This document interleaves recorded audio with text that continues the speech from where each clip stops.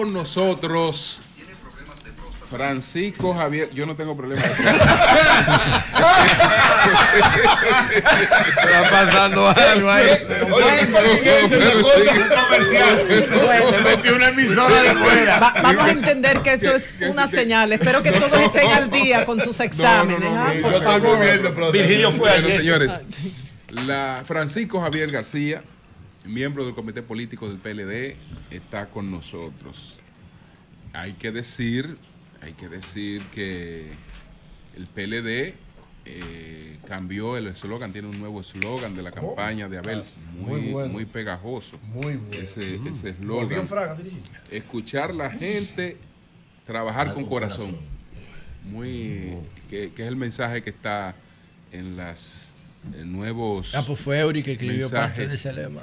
Bueno, entonces, pero está Francisco Javier. Le quitaron el El cerebro poco. que hay que trabajar. Quitaron el falta sí, poco. que- Sí, sí, hay, Ah, hay una- parece que falta mucho. Hay una renovación en el contenido. Se, Ah. se nota, Se- se nota se un nota, cambio se nota un cambio significativo en la campaña. Se nota un- se Bueno, después de los resultados Ahí tiene hay- que haber hay- un optimismo. se Pues un quedar en segundo se lugar. Parece que ya no falta poco, Pero falta bueno, mucho. señores, Julio, antes de que tú empieces formalmente con Fran, yo quiero aprovechar para agradecerle públicamente, porque a propósito de lo que decía María Elena del tema de la alimentación y los ultraprocesados, Yo espero que tengan que ver con el invitado. Sí, eh, Francisco para Javier me regaló un justificar libro tu interrupción. ¿Te regaló? un libro que se llama Cerebro de Pan. ¿Tú te Oh. acuerdas, Fran? Claro. Cerebro Del psicólogo David Perlmutter, que específicamente habla de cómo la harina refinada y los ultraprocesados tienen un impacto en la salud mental y en el desempeño físico de la persona. Y tú estabas hablando de eso. Eso fue, Fran, como en el 2017, por ahí, ¿verdad? Sí. Tú me regalaste ese libro cuando yo empecé a promover la a generar alarmas sobre el consumo de, de carbohidratos ultraprocesados, que son los que dañan tanto. Él es parte de los culpables que tú estés Bueno, así hoy día. Señores, son las 8.35 minutos. Francisco Javier García, miembro del comité político del PLD y una de sus especialidades es el análisis de, de encuestas. Ay, papá. Eh, a, a maltratar a Virgilio de esa manera. No, no, no, no, no, no, él nunca ha maltratado no, a nadie. no, maltratado a nadie. Nunca ha maltratado no a nadie. Virgilio no durmió, ¿no? Para hacer un análisis profundo. Entonces él trajo, él Fran tra- es del, del comité político de verdad. él trajo impresa RD Elige. 24. Y- y con marcadores. Y con marcadores. perdón, Con sus notas de mira, con marcadores, Entonces vamos a entrar en materia, Fran, inmediatamente. ¿Cómo tú ves RD Elige, Fran? Bueno, primero, primero, No, no, primero, antes que nada, buenos días, tanto a ustedes, esta playa de brillante y a todos los amables televidentes y oyentes también. Lo primero es que cuando entré a este espacio, que no había venido a este estudio, Ah, pero ahora que tú te... sí, me- no había venido a este estudio. A este estudio, lo está estrenando. Sí, me he dado cuenta que las cosas eh, financieramente están muy bien por estos lados. Gracias a Dios. No, no, no, no. Yo sé que los aumentos. sientes bien Yo sé eso? que los aumentos de sueldo que han habido aquí han sido O considerables. por lo menos las inversiones, que eso son otra cosa. Las inversiones que, que son una confianza en el país, en el No, futuro. y que, y que Exacto. la, y que la Sí. ganancia posiblemente dé para pagarle a algunos socios que tienen compromiso bien. Ah. Pero miren, bueno, yo creo que ustedes han publicado una encuesta que es RD Elige. En otras oportunidades he tenido la oportunidad de venir a, conversar sobre RD Elige, pero no específicamente sobre RD Elige. En una oportunidad la cité cuando estaba comentando sobre la encuesta Galo. eh, hace un tiempo en la que yo decía que la encuesta Galo que se había publicado en ese momento tenía unos errores y el presidente de Galo amablemente reconoció Sí, eh, los errores. Bien, en esta oportunidad, esta encuesta se produce posterior a un proceso electoral. Un proceso electoral que si no se interpreta correctamente, no solamente los ganadores, también los perdedores, porque en, en este resultado electoral hubo victoria y hubo derrota. Nosotros fuimos derrotados en este proceso. Pero como dijo alguien en una oportunidad, en la victoria hay que ser humilde. Y yo digo, no, donde más humilde hay que ser es en la derrota. Porque en la derrota es que tú tienes que sentarte, analizar fríamente a calcular cuáles fueron los hechos y acontecimientos que dieron a luz ese proceso.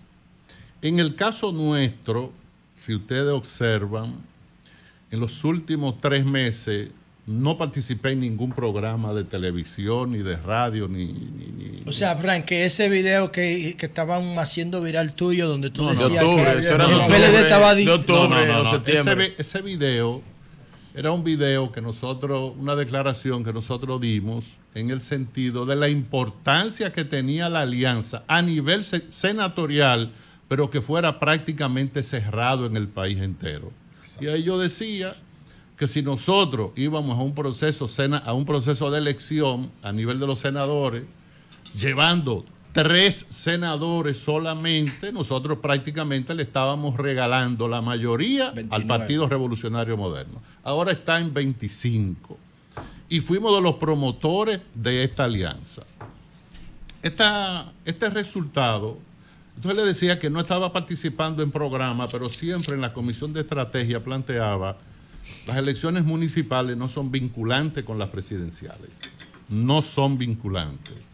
Y yo incluso iba más lejos, iba a los extremos, decía, el PRM puede obtener el 100% de todas las alcaldías y sin embargo perder las elecciones presidenciales de mayo o de la segunda vuelta. Y la pregunta, Es por ejemplo, eso. en estos resultados, y lo que yo estoy diciendo lo voy a probar, Vamos no, a ver. no lo voy a decir. Vamos a ver. En estos resultados, cuando tú analizas el comportamiento, me voy a centrar en los municipios. En los Los municipios, alcaldes. el PRM obtuvo con los aliados un 85% de las alcaldías. Los demás partidos de la alianza obtuvieron un 15%. ¿Cuál es el comportamiento histórico que han tenido las elecciones municipales, eh, salvo la ocurrida en el año 2020, donde hubo un acontecimiento que se pospuso las elecciones, y eso fue un componente diferente? Que las elecciones municipales siempre ha sido favorable al que está gobernando en ese momento. Hay una serie de variables, todos los candidatos se apropian en términos publicitarios de las cosas que está haciendo el gobierno y el gobierno interviene el país entero. Entonces, cuando se produce este resultado del 85%, esto le manda una mala señal, pero no la mala señal es a los perdedores, la mala señal es a los ganadores. ¿Cómo así? Porque cuando tú tienes un 85% de los alcaldes, tú, tú, tú entras en una especie de éxtasis. Te descuidas. No te descuidas, no, tú te entregas. Yo tengo un amigo del PRM muy querido que incluso me llamó y me dijo, oye, después de este resultado, No hay nada que buscar mayo. yo me voy un mes de vacaciones. Y yo le dije, no, si yo fuera tú, yo no me fuera un mes de vacaciones. ¿Cuánto te fuera? Digo, yo me fuera tres meses y viniera a votar. Ahora, cuando tú vienes a votar, puede, puede ser que tú vengas a votar para perder. ¿Quién pone las cosas en su sitio después de estas elecciones? En un momento no favorable para hacer una encuesta. RD elige, sale al campo el día 20 de febrero. Yo no lo hubiera hecho ahora esa encuesta. 48 horas antes. Tú dirías, bueno, pero, pero, pero, Después. perdón, después. Si las elecciones son el 18, tú sales al 20. Cualquiera diría, mira, hay un estado de éxtasis, el éxtasis Claro, de la victoria, todo- Todo el percepción mundo de victoria. No, que el ambiente está. Pero yo voy a hacer algo mejor. Alterado. Yo voy a hacer algo más. Yo voy a validar la encuesta y voy a aceptar los resultados como si no se hubieran dado en esas condiciones. Y cuando analizo este resultado, el primer resultado que pone las cosas en su sitio es el que dice, mire, esto que está aquí es RD Elige. Exacto. Impresa y con tus notas. Bien. Tengo RD Elige aquí y tengo otra RD Elige aquí que la voy a mostrar después. Porque para tú saber cuál es el comportamiento, el impacto que tiene el resultado de una encuesta, tú necesariamente tienes que compararlo con otra encuesta, pero de la misma firma. Correcto. Tú no puedes comparar, cómo evoluciona. tú no puedes comparar una Galo con R de Lige, ni una Sigma con Galo, no tiene que ser de la misma. Entonces, en esta encuesta, La del día 20 de febrero, la del del 20 al día 26. 20 de febrero, cuando se le pregunta a la gente si las elecciones a las si fueran hoy las elecciones a la presidencia de la República, ¿por qué opción votaría? Acuérdate que ahora la lucha que hay planteada no es una lucha prácticamente de candidato. Aquí lo que hay es una lucha de bloque. El bloque que tiene Luis Abinader, el presidente Abinader con 16, 18, 19 partidos y el bloque y el bloque que tiene Alianza RD que son seis partidos, pero que son tres partidos principales. Entonces, cualquier análisis de encuesta que se haga tiene que ser sobre la base de ver el bloque. En esta encuesta, el presidente Abinader aparece con 52.3. Y entre Leonel y Abel, uno tiene, en el caso de Leonel, aparece con 29.3 y Abel con 13.4, sumados son 42.7. Tú dices, bueno, si uno tiene 52, si el presidente Abinader tiene 52, eso no tiene nada que ver con el 85%. Lo que te dice a ti, que ese 85% que sacó el PRM no tiene nada que ver ni es vinculante con la popularidad que pueda tener el presidente de la República en ese momento. Pero como la sumatoria, y hay que decir que en esta encuesta sí tuvo un pequeño defecto, y es que no incluyó a Miguel Valga Maldonado para hacer la encuesta, que es un candidato a la presidencia de uno de los partidos principales. Entonces, en esta encuesta, 42.7 a 52.3, ¿cuál es la diferencia de los dos? 9.6. Lo que separa al presidente Abinader, una encuesta hecha en la euforia de la victoria, en la percepción de la victoria, son 9.6. Pero tomando en cuenta de que estén unidos los dos, no. No, no, no, no, no, no, es que ya hay No, un pacto. separados, Es que déjame decirte, déjame decirte qué es lo que pasa. Por primera vez en la historia electoral de la República Dominicana, antes de la primera vuelta hay un pacto. Aquí nunca se han hecho pactos de cara a la segunda nunca. vuelta.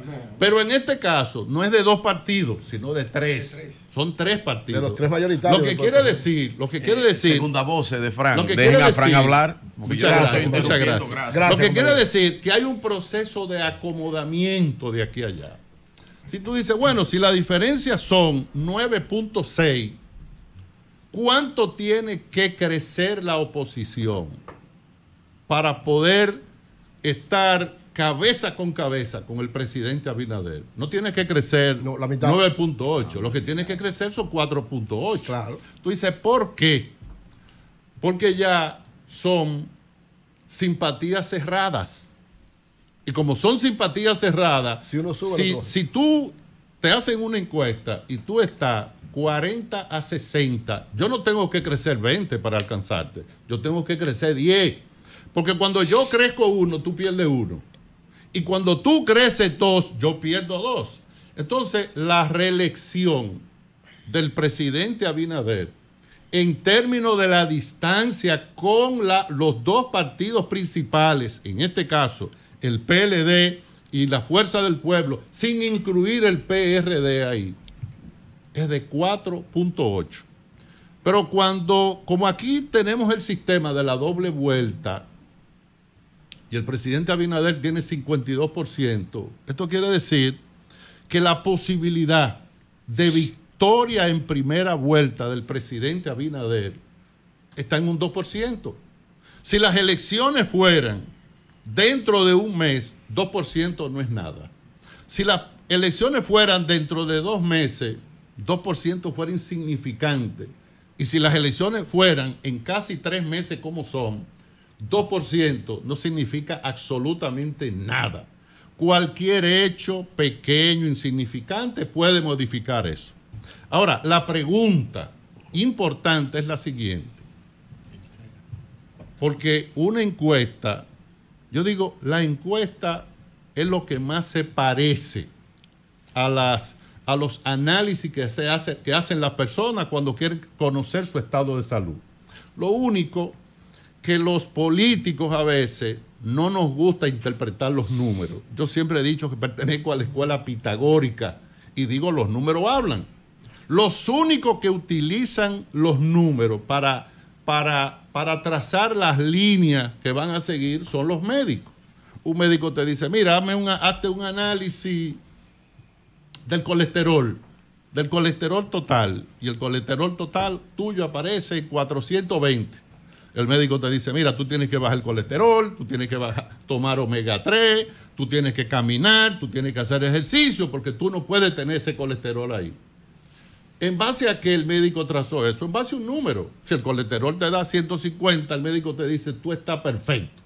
Como Julio ahorita habló de la próstata, Julio no. Digo, se le metió un anuncio ahí. Fue la hija de, la hija de Julio, Julio. no, Julio no tiene nada que ver con problemas de próstata.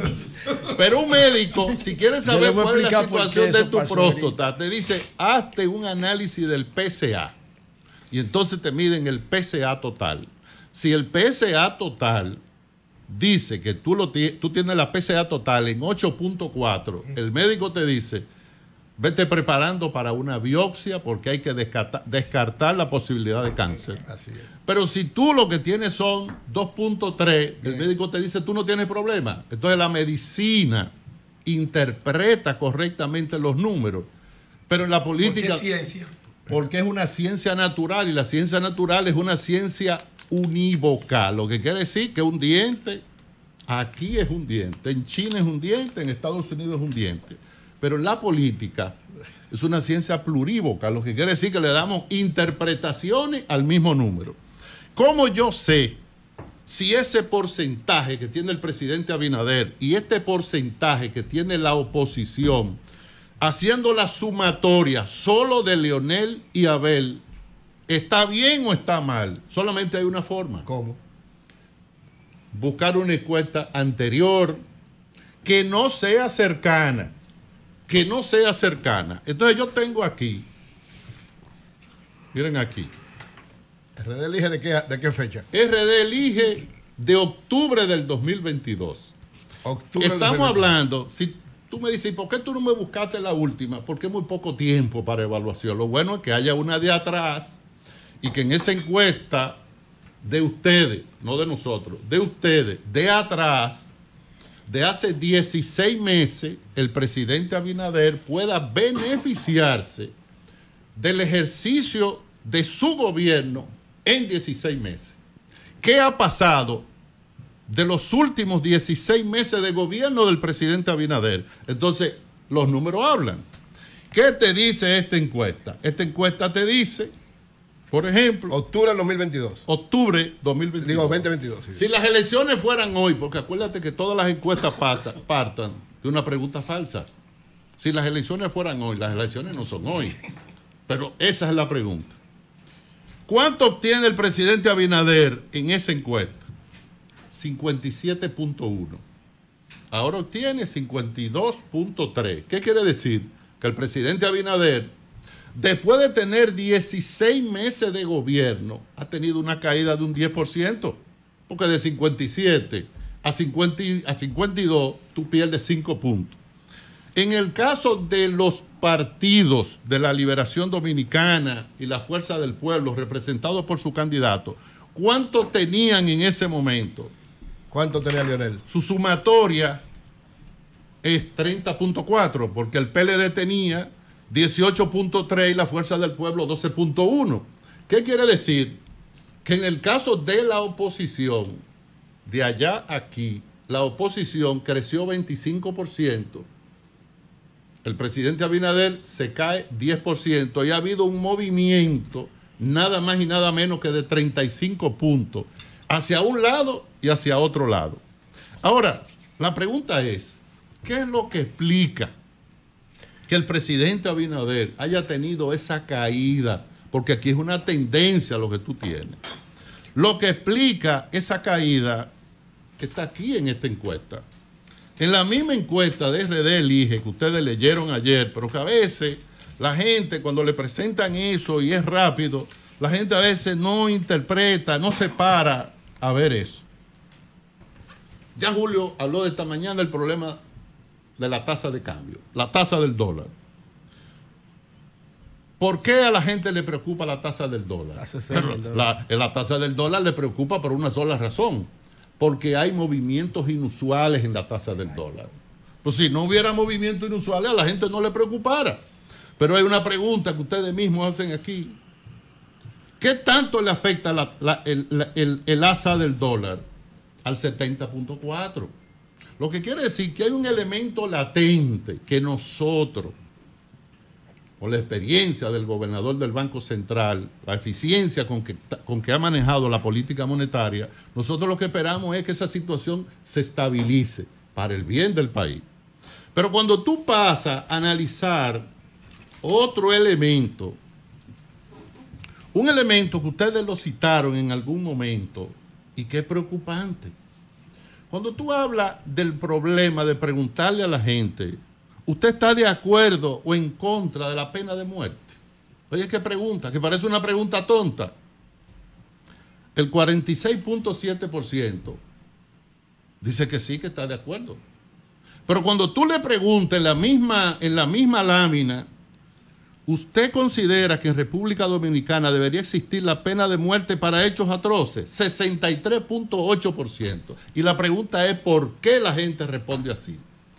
La gente responde así porque está viviendo en un estado negativo en lo que tiene que ver en un estado de intranquilidad social. En un, en un estado en el que siente que su seguridad personal está en peligro. Hay otro tema, por ejemplo, que el presidente Abinader lo trató en vuelo rasante. Lo trató rápido en el discurso, pero que era su tema, uno de los temas principales de campaña que él tenía, que es el tema, por ejemplo, de Haití. ¿Cómo trataba esta encuesta, esta encuesta de RD Elige, lo que tenía que ver con el tema de Haití, con este gobierno? Porque ustedes le encuestaron en el 2022. Cuando tú le preguntas a la gente cómo califica la postura del presidente Abinader frente a Haití y su política migratoria, el presidente Abinader ahí aparece con un 62% positivo. Pero cuando tú le preguntas a la gente ahora cómo califica la actuación de las autoridades con el problema migratorio, la aceptación de 62 ahora está en 22%. Y, las, y la, El rechazo. la, lo negativo, o sea, la parte de que, de que, bueno, el gobierno lo está manejando mal. Antes era 11.5%, pero ahora es 57.4%. 57.4%. ¿Cuáles son estos elementos? Bueno, estos son, estos son elementos que lo único que hace es expresarte a ti por qué el presidente Abinader ha tenido esta caída. Y por eso, y por eso yo te digo a ti, por qué las elecciones no son vinculantes en este caso. Entonces, visto esto, ¿cuál ha sido la estrategia que ha utilizado el PRM, el gobierno y los asesores del presidente Abinader en todo este proceso? Su estrategia ha sido convertir las elecciones municipales en una especie de la primera vuelta y las elecciones de mayo en una especie de la segunda vuelta. O sea, han querido vender la idea en el imaginario popular de que la segunda vuelta no existe. Ahora, la pregunta es, ¿por qué hacen eso? Porque los asesores del presidente Abinader no son tontos, al contrario, son asesores buenos, porque yo conozco algunos. Porque eran asesores de ustedes. Claro. En algún momento, sí. Pero oye, ¿por qué? Porque el gran handicap que tiene, que tiene el PRM es que para ellos la segunda vuelta no existe. Ellos entienden que la única posibilidad de victoria es en la primera vuelta, pero ya vimos que esa posibilidad de victoria está prendiendo de un hilo de dos puntos y está prendiendo de un hilo de diferencia de 4.8%. Yo estoy esperando el momento, Frank, cuando tú lo de empate o de Claro. a Luis abajo. Estoy No, no, no, ¿eh? Estoy bien. esperando eso, ¿eh? la Estoy convencido de que usted está arriba, No, Frank. no, no, oye, no, para- Julio, el bloque quiere alterarse. No, no, no. Ahora, no estoy escuchando, déjame, la terminar la parte. La parte. La Ya, parte ya está, ya, a, partir de hoy estamos abajo ya. No, no, no, sí, sí, no. no, Usted pero- gana el 18, Frank. Perdimos, la pregunta. Déjame, que déjame la Sí. parte que tiene que ver con el handicap Ok. Vamos arriba. de la segunda vuelta. Eso no nos lo inventamos nosotros. Es un handicap internacional que existe para los partidos cuando van a la segunda vuelta. ¿Cuál es el partido que puede ganar unas elecciones en segunda vuelta? No es el partido que más votos saque. No es el candidato que quede en primer lugar. Es el candidato que tenga la mayor capacidad de sumatoria para la segunda vuelta. Por ejemplo, en las elecciones, y hay un caso, es más, hay dos casos que te lo voy a mencionar. Las elecciones del año 1996, conocido por todos nosotros, fue el doctor Peña Gómez, sacó 46% en la primera vuelta. Fue el doctor Leonel Fernández, 39% en la primera vuelta. Y fue Jacinto Peinado y sacó 14.9% en la primera vuelta. Jacinto sacó 435 mil votos. Después de esas elecciones, el doctor Peña Gómez hacia la segunda vuelta se veía imbatible, inderrotable. ¿Cómo nosotros íbamos a poder derrotar al doctor Peña Gómez, un líder de las condiciones del doctor Peña Gómez? Pero tenía una debilidad, que no tenía prácticamente capacidad de sumatoria hacia la segunda vuelta. Obviamente, el doctor Leonel Fernández obtuvo el 29% de los... Hubo un crecimiento de 29% en la cantidad de votos y captó 335 mil votos de Jacinto. ¿Cuánto captó el doctor Peña Gómez? 60 mil votos. Y ahí nosotros ganamos 51 a 49. Pero recientemente acaba de haber otra elección, ¿Cuál? la de Argentina. Milei frente a Massa. Nadie creía que Milei podía ganar las elecciones. Y la pregunta es ¿por qué? Porque ni en las encuestas, ni siquiera en la votación, ni siquiera en la votación daba que Milei pudiera conseguir el apoyo de tres de cada diez argentinos. En la votación tampoco llegó a 3 de 10, porque llegó a 29.9. Ahora, ¿por qué gana Milei? ¿Y por qué pierde masa? Porque Milei se va del 29.9 al 55%, porque Massa no tenía capacidad de sumatoria. ¿Cuál es el problema que tiene la candidatura del PRM? ¿Te parece poco 22 partidos, Frank? No, ahí es que voy. Digo ahí yo, es que voy. digo yo. Oye, ¿cuál, qué- cuál es el problema? Ese es el problema. Que hizo un acuerdo con 22 partidos y ya de cara a la segunda vuelta no hay partido para hacer más acuerdos. Porque es un acuerdo cerrado. Yo te voy a poner un caso. El PAL. El PAL que está presidida por mi amiga extraordinaria y hermana Amiga y hermana. Marisa Ortiz. López de Ortiz. López. Marisa López, López perdón. de Ortiz. Marisa va a elecciones con el PAL, apoyando al presidente Abinader, y obtiene 100 mil votos. Primera vuelta. Hacia la segunda vuelta, ¿dónde va a buscar Marisa un voto más? Porque ya lo consiguió todo ahí. El que gane, el que clasifique en la primera vuelta para la segunda, no bien han pasado las elecciones cuando ya va sumando. ¿Qué problema tuvimos nosotros en esta alianza? Porque en esta alianza nosotros cometimos errores, pero errores que son subsanables. Y aparte de que son ¿Cómo subsa- es? errores que son subsanables, yo te voy a citar uno. ¿Qué tiempo nos duramos nosotros negociando para la alianza? Cinco meses. Empezamos en junio y concluimos en noviembre. Ahora, ¿por qué? Bueno, porque éramos, éramos dos partidos grandes que déjame decirte, en el caso de la Fuerza del Pueblo, validó en este proceso que es un partido grande.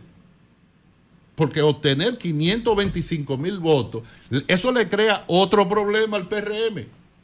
Porque para tú ganar en primera vuelta, tú necesitas que el partido que quede en tercer lugar quede prácticamente en el suelo. Todo el mundo conoce la maquinaria que es el PLD.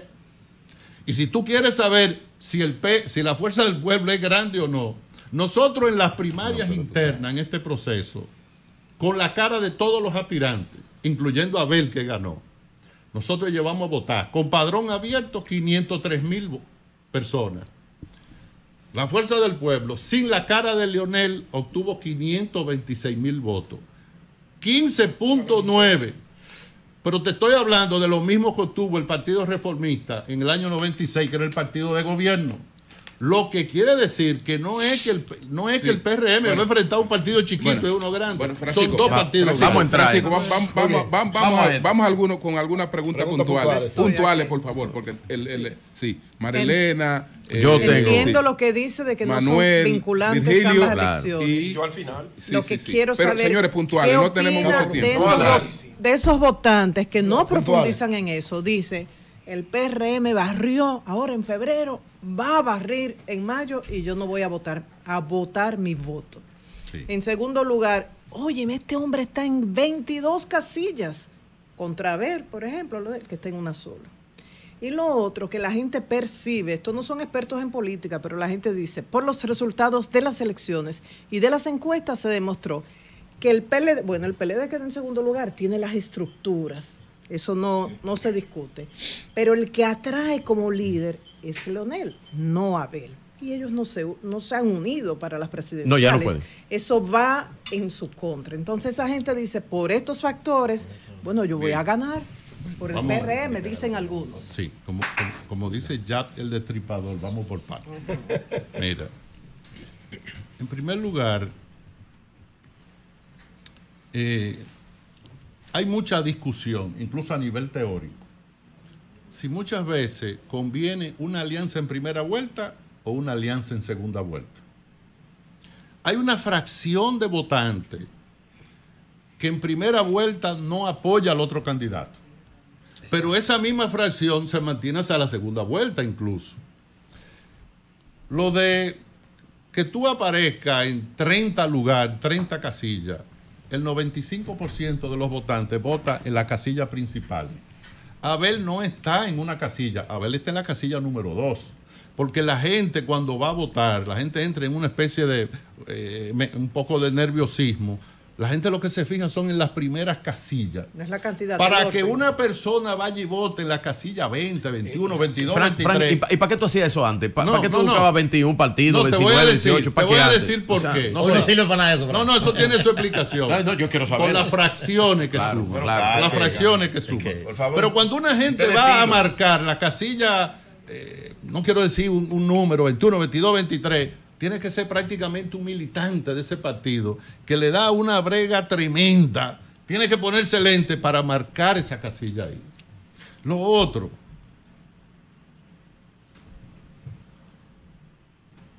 lo importante en unas elecciones no solo es la percepción de victoria, sino, sino no tener la percepción de derrota.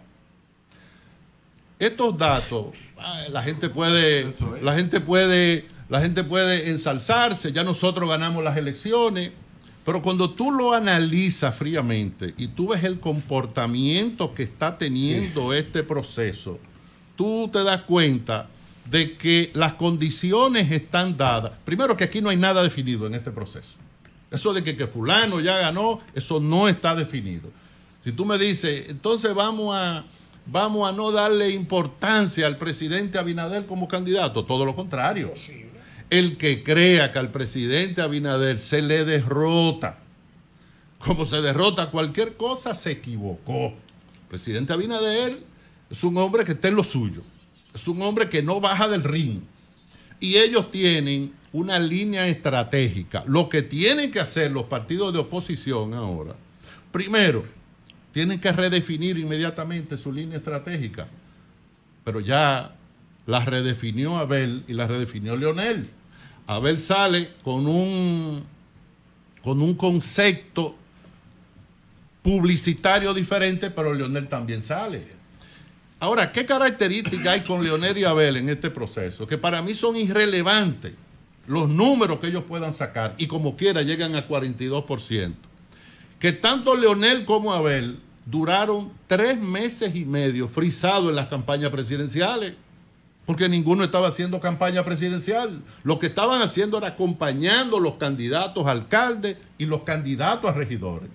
El presidente Abinader sí estaba en su campaña. Incluso la Junta miró para otro lado y permitió que se violara la ley con el programa de inauguración del presidente. En este proceso, María Elena, tú dijiste algo importante, la abstención. Yo te voy a decir una cosa. A mí el relato del lloriqueo no me gusta. Que nosotros perdimos porque compraron cédula. No. A nosotros nos compran cédula porque nosotros permitimos que nos compraran cédula. Pero fundamentalmente porque la Junta Central Electoral no hizo nada. Bueno, Cuando Roberto Rosario era presidente de la Junta Central Electoral en el año 2012, fue imposible que se comprara una cédula. Y tú dices, ¿por qué? Porque las 144 oficialías de expendición de cédula y de duplicado, el día de las elecciones estaban abiertas hasta las, hasta las 12 de la noche. Lo que quiere decir que nadie hacía nada con comprar una cédula, porque yo te la compro, yo te la compro, pero tú vas inmediatamente y sacas tu duplicado y tú vas a votar. Y lo segundo, que la compra de cédula es algo que los partidos políticos no pueden denunciarlo antes de las elecciones. Porque en un país con tanto problema y tanta miseria, hay 500 mil personas que Bueno. salen a buscar donde que bueno, la compren. Señores, va- permita- permítanos, va- tenemos, tenemos que hacer una pausa. Regresamos, vamos a hacer entonces eh, las preguntas que nos quedan, por favor, puntuales. Después de la articulación efectiva de una estrategia electoral, uno de los elementos más importantes en una campaña es el recaudo. Luis acaba de ganarle indiscutiblemente a ustedes la batalla de la percepción. ¿Quién a partir de esta realidad, Francisco, si le estaba donando a ustedes un millón de pesos mensual, le va a donar ahora en el mes de marzo ese millón después de esa realidad? Yo quiero apelar al estratega político que me responda a esa, esa situación. Bueno, lo primero que yo te voy a decir a ti, que los empresarios dominicanos no son de nadie. Ok. No son de ningún partido y como no son de ningún partido, los empresarios apo- aportan a todo el mundo. Puedo aportarte, si tengo 10, te puedo aportar 6 aquí y aporto 4 aquí. Lo que digan las O encuestas. aporto 5, aporto 4 y aporto 3. Pero yo creo que los, em- la- los empresarios dominicanos a todos los niveles tienen conciencia de que la democracia hay que pagarla y que la democracia cuesta. Y todos estos procesos democráticos, el derecho que tiene la gente a ir a votar, los partidos tienen que hacer un gran esfuerzo. Incluso, ojalá que después de este proceso los partidos políticos entren en una fase de reflexión para analizar lo que tiene que ver con la disminución de la participación de la gente en la política. Porque los partidos políticos son la intermediación entre el Bueno. Estado y la sociedad. José. Bien. Bueno, yo pienso que eh, el PLD, el PRM va a ganar porque está haciendo lo mismo que el PLD hizo en 20 años. Ahora, Fran dice que no. Y un amigo, no es mi amigo, es una persona que te- hay una admiración recíproca, yo lo admiro, él me admira. Y él está dispuesto a apostar un millón de dólares a que el presidente Abinader gana en la primera vuelta. Yo no sé, es más, me la juego y digo el nombre. No, no, no. Dilo, dilo, dilo. ¿Me lo dijo? Sí, bueno. Enriquillo Reyes de Navarrete, empresario agroindustrial. ¿No lo conocen aquí? Julio lo conoce. Hermano de, constructor. Ya, bueno, un millón de dólares. ¿Tú estás tan seguro de, lo- de los análisis que has hecho aquí? ¿Tú tienes a alguien en el PLD que, eh, que pueda hacer, como dicen los galleros, coger un millón a medio a que el PLD, Ah, o que va a haber segunda vuelta? Incluso? porque él da gabela. La cabena. Sí. Ah, no, pues excelente. ¿Tiene alguien? Primera cosa, yo no he traído datos aquí. Los datos que No, yo... tú estás analizando, no, no, no, no. interpretando. Los datos, los datos que yo presenté son los datos de ustedes. De la casa. O No, sea, mío no, de la casa. sí, sí, no. Bueno, pero, pero, pero ustedes son que... Ustedes son de patrocinan, vamos a decir. No, y respeto. Cuando yo digo... Digo, en esa encuesta lo que dice que No, Luis se va en la primera ahora. vuelta. Perfecto, Sí, perfecto. ok. sí, pero dice que Luis hoy tiene 52. Si las elecciones fueran mañana, tú dirías, Luis va a ganar con 52. Pero como las elecciones son en tres meses, tú dices, oye, el que está abajo solo tiene que crecer 5 puntos y ya está arriba. Si tú haces lo que tienes que hacer, porque la cosa no te cae del cielo. Pero yo te voy a poner un ejemplo similar. En la campaña del 2012, que yo fui el jefe de campaña, Hipólito le llevaba 18 puntos a Danilo, terminando el año 2011. En el comité político del PLD, yo te diría a ti que prácticamente nadie creía que Danilo iba a ganar. En el gobierno, prácticamente nadie creía que, que Danilo iba a ganar. Pero en la política hay acontecimientos que se vienen produciendo que te cambian el curso de los acontecimientos. Entonces, esto que yo estoy diciendo aquí, tú dices, Abinader puede perder, sí puede perder. No Abinader puede ganar, Bien. sí puede ganar, pero eso no se define. Tú me mandas el nombre de la persona para aportar el millón de adelante. No, dólares. pero tú me das el dato. Frank. me das el dato, que yo a lo mejor consigo a alguien que, que le sube la apuesta. Frank, Bueno, adelante, adelante. Bueno, yo me voy a quedar esperando aquí. primero te reitero mi admiración. Eso Y- es recíproco. Ey, mira, eh, tú- y la capacidad que tú tienes para hacer escenario, que es muy interesante. Eh, viéndolo desde ese punto de vista, tus escenarios. La pregunta. Yo ¿Un te hago una pregunta. o un insulto? Eh, aparte de Redelige, me imagino que tú analizas otras encuestas. Pero está bien, tú tienes Redelige ahí analizada. Tú renunciaste a la jefatura de campaña de Abel Martínez. Renunciaste en un momento crítico. Tu carta es un enunciado, pareciera, y lo dije aquí, y parece un curso básico, especial, eh, básico no, especializado del manejo de campañas electorales. Han cambiado algunos de esos preceptos que tú escribiste ahí, magistrales, sobre el manejo de la campaña de la oposición. En algún momento, un momentito, lo yo no tengo segunda voz. Él lo dijo ahorita. ¿Han cambiado algún precepto yo- de eso que tú enunciaste por los cuales Bien, bien. esa campaña tú la Bien, veías señores, con la- derrotada? Con, esta pregunta vamos a terminar. Lo No, la mía, maestro. Señores, te- Bueno, te- eh, te- eh, una eh, pregunta. estamos, estamos, De- estamos déjame- fuera de. Déjame decirte. Una Bueno. Está bien, pero Ah, punto, oye, está bien. mira, primera vez, bueno, yo primera vez, yo coincido con Ah, Julio. ah, Hay una presión ahí afuera. Mira, déjame, déjame, déjame decirte lo siguiente. En primer lugar, tú me estás haciendo una pregunta de un libro de la página 42 y yo voy ahora por la 186. Ok. Entonces tendría que volver para atrás. Sí, pero, Es el libro que pero es anacrónico, ¿no? Ah, es anacrónico, ¿no? No, pero, pero está bien. Entonces, Así en el Así mío- maestro. Oye, bien, Así caso como maestro. mío, ¿viste? Yo tengo una forma de operar en política. Ok. Yo tengo una diferencia contigo, incluso hasta con lo, con lo de otros partidos políticos. Claro. Yo tengo un problema de discusión porque yo nunca ofendo a nadie. Pero al día siguiente ya yo no tengo problema contigo. Yo renuncié un jueves y al jueves siguiente estaban en mi casa Danilo, Abel, Charlie Mariotti planificando trabajo de la campaña. Ahora, Abel ha empezado en una reestructuración de su campaña. Yo le pido a la gente, observen los discursos del compañero Abel Martínez a partir de ahora. Yo le pido a la gente, observen los discursos del doctor Leonel Fernández a partir de ahora. Muy observen, observen lo de Miguel Vargas. ¿Y por qué tú dices, por qué tú pides que lo observen a los tres? Porque para nosotros ganar las elecciones, nosotros necesitamos que todo el mundo crezca.